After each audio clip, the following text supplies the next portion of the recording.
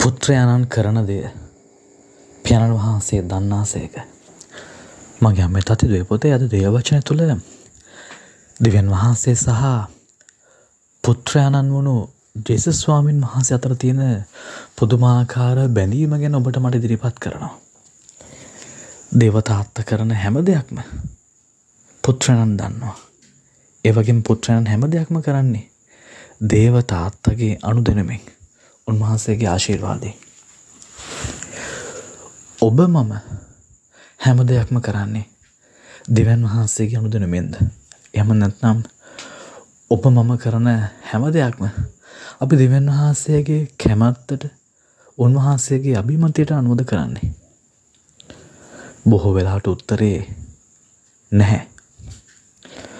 අපි කරන ගොඩක් දේවල් අපි දෙවන් වහන්සේකින් හැංගිලා කරන්නේ. එකට හේතුව තමයි අපි කරන්න ආස දේවල් දෙවන් වහන්සේගේ අභිමතයට විරුද්ධයි. අපි කියන දේවල් අපි බලන දේවල් අපි කතා කරන්න ආස දේවල් ගොඩක් වෙලාවට දෙවන් වහන්සේගේ අභිමතයට කැමැත්තට විරුද්ධයි. එනිසා එදා ජයස්වාමීන් වහන්සේ පවසුපු ආකාරයට දෙවන් වහන්සේ සහ ජෙස්වාමීන් වහස අතර තිබුණු බැඳීම ඒ බන්ධනය අද අපි දෙවියන් වහන්සේ අතර නැහැ. ඒකට හේතුව තමයි අපි ගොඩක් වෙලාවට කරන්න උත්සාහ කරන්නේ දෙවියන් වහන්සේගේ කැමැත්ත නෙමෙයි උන්වහන්සේ අකමැති දේ. හැබැයි ජේසු නිරන්තරයෙන්ම කරේ දෙවියන් වහන්සේගේ කැමැත්ත.